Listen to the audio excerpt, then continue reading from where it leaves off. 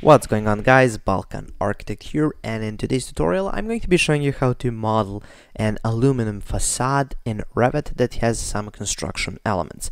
Now aluminum facades are really great, those are those panel facades, I mean it doesn't have to be aluminum, some, you can use some other uh, sort of finish material for uh, for the finishing layer, but usually it's some aluminum or some stone or some composite material, something like that. And under that we have some construction and then the, we have those uh, basically the, the, the bearing wall. Now uh, I'm going to be modeling this in Revit as a curtain wall and we're just going to be using the, the system curtain wall system family to get the desired effect for uh, this type of a wall construction.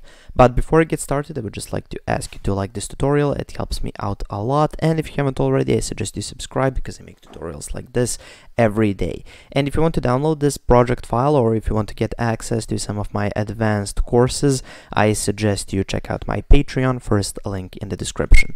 Okay, so let's get started. I'm going to be using for this the architectural template, even though this is a family that we're creating, it's a system family, so we need to access it through uh, uh, a Revit project. Then I'm going to go over here to the wall command, start to the wall command, and here now in the properties panel, let's just search for a uh, some sort of a curtain wall. Now when choosing a curtain wall, uh, you usually get these three uh, with most architectural templates in Revit, depending on the version of Revit you have. Uh, but uh, the curtain wall, the regular one, is just has no uh, separation between uh, the glass panels. The exterior glazing has separation between the glass panels, but it doesn't have the mullions. And here the storefront has it all, so that's what we're going to be using. So I'm just going to place just a bit of a wall over here. So that's what we have. Maybe spin it around. Okay, let's go into 3D and see what we have. Okay. So as you can see over here, this is our facade. We've got these uh, vertical and horizontal mullions. And when we zoom in over here, we have our glass. And we can select the glass just by hovering over uh, the curtain wall, hitting tab a few times and there we go. So we selected the glass and if you want to edit uh, this glass you would really need to unpin it and then go over here and change it. Now uh, for this glass panel we only have options for uh, having it empty or having it glazed or solid or something like that. But that's really not something we want to use. We want to create our own. So let me uh, pin this back in place and let's create a new glass panel that's going to actually hold uh, the wall and it's going to allow us to use the these mullions as some sort of fake construction for uh, our panel wall. It's not going to be ideal of course uh, but it's going to look good enough for our project. And if you want you're looking for well ideal I'm going to leave some links in the description for some manufacturers that have created some plugins uh, for uh, doing something like this. So uh, let's just go here to File and New. So we're creating a new curtain system uh, panel.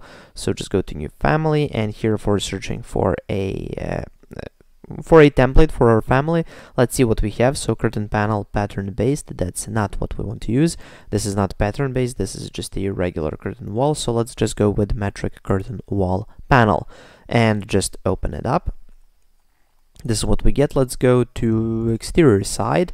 So we have uh, this is the top of the panel this is the bottom these are the sides and we have this middle line. Now I'm just going to go to reference plane and add one in the middle. So let's go like that and just to lock it in place just to make sure that that it is actually in the middle I'm just going to go with DI for dimension.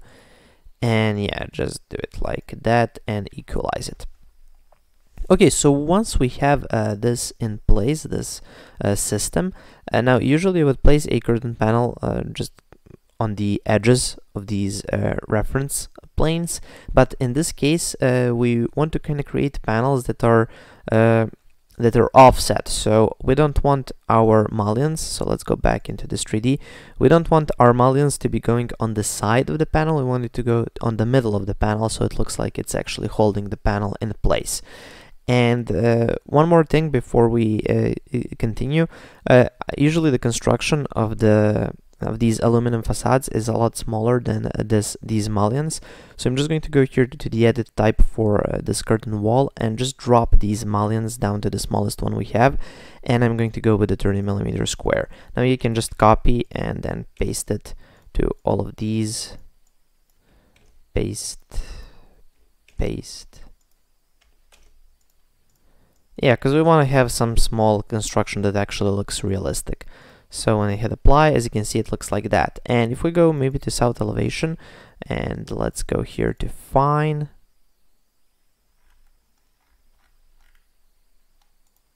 Okay.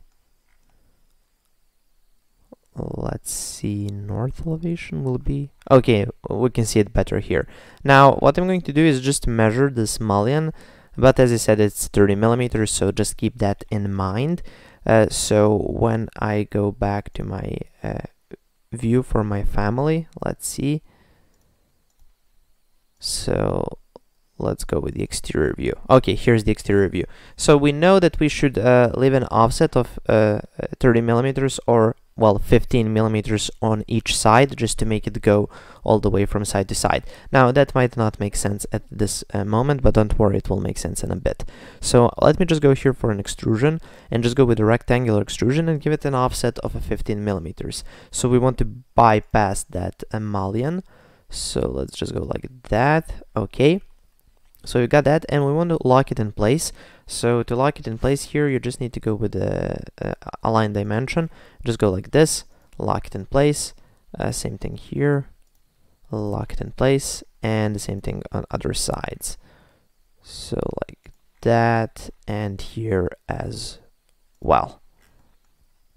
Like that, lock it in place. So now if we just uh, hit finish, it will look like this. And if we just go to our reference level, we can see where it is. So this is the interior side, this is the exterior side. I want this thing actually to be on the exterior. So let me give it an offset, uh, just enough for that mullion. So let's go with the extrusion start being minus 15 and the extrusion end being, I don't know, minus uh, let's go panel. Let's say panel is, I don't know, 3 centimeters. That's 30 millimeters, so that's minus 45. And it looks like that. Okay, so we've got that on the exterior side. Let's go back and let's create some extrusions that are on the interior side. So we need an insulation layer as well as a construction layer. So maybe let's go to the interior side. Yeah, looks good enough. Go to create, extrusion, rectangle and we can just use this one the existing one oops uh, for reference and then we're going to lock it to that so just make sure you use that 15 millimeter offset and you just lock it in place on all four sides. And uh, once you're done you just hit finish. Go back to your reference level. Okay so again I'm going to give it an extrusion uh, start of 15 millimeters and then an extrusion end of let's say my insulation is 150 millimeters. So combined with this 15 that's 165 hit apply okay so this is an insulation material and let's give it a material for insulation. So let's just go for some insulation. Yeah let's go with the pink one. That's the one that's the cheapest. So let's use that. Okay so we've got this going. Let's go back to interior and let's just do the construction layer. So just go to create. Let's go with set work plane and oops extrusion set work plane pick a plane okay and let's pick this face. And again let's use the existing offset just to lock everything in place. Just like that. Okay just lock it now on all sides. Okay, hit finish, go back into our reference level, and yeah, let's do it at 200 millimeters, and let's say this is the actual construction layer. So let's find some block. Okay, lightweight, fine. Okay, so now the only thing we need to have is kind of that separation between panels and I'm going to be use, doing that by just going to the exterior side, uh, selecting this exterior panel, going edit extrusion and now what I'm going to do is just use the offset tool with an offset of 15 millimeters and just zoom in over here and just give it an offset like that. Okay, Now you just go with the split element tool and you split it here, you split it here, you split it here, here, and in the middle on all four sides. Next thing you need to do, you need to go with trim and extend, and then you just trim all sides to get something that looks like this. Let's do the middle now. Okay, let's do this side, the top, and let's just do the bottom. Okay, and to keep these in place, uh, what you need to do is you need to lock it in place. So just go DI for dimension, then go like this, lock it in place, again, lock it in place, and then you can align it to this. So just go align tool, select the locked one, the unlocked one, and lock it, and the same thing on this side. And then you repeat the same thing for the horizontal ones. So just dimension tool, lock it, lock it again, and then just the align tool to uh, lock the other ones without adding the extra dimension. Okay, so we have this, and this extrusion on the exterior side uh, should probably be some fancy material. So let's, okay, let's select that and let's add some aluminum. Let's see what we have. Yeah, let's go with the blue facade or the red facade. Okay, red would be too much. So let's go with the blue facade and yeah, let's bring this color a bit more to something grayish like that. Okay, this looks a bit better. Okay, hit apply and here we have that uh, uh, panel, facade panel and we can just load it into the project and now it's loaded. The only thing is it's probably has some weird name.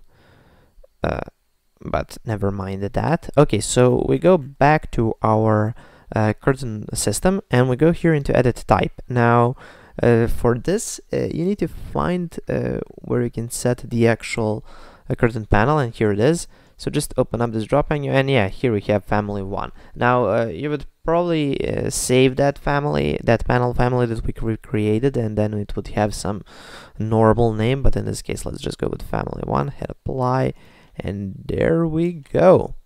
So it looks like this. And as you can see, we've got those uh, vertical elements going through this, and we've got a facade that looks pretty nice for an aluminum facade. Yeah, there you go. So you can play around with layers a bit if you want. So as you can see, these ones are kind of attached yeah, it looks really good. So there you go, aluminum facade uh, just out of a curtain wall in Revit. So if you ever want to do something like that, that's how you approach this problem. Okay, so if you want to download this aluminum facade, check out uh, first link in the description to my Patreon. You can get it there. Also some advanced courses as well. Okay, so that's pretty much it for this tutorial. Thank you for watching. Please subscribe, like, and share this video. And if you have any questions, comments, or suggestions for any future tutorials, please make sure to leave them in the comment section below. Thank you for watching, and have a nice day.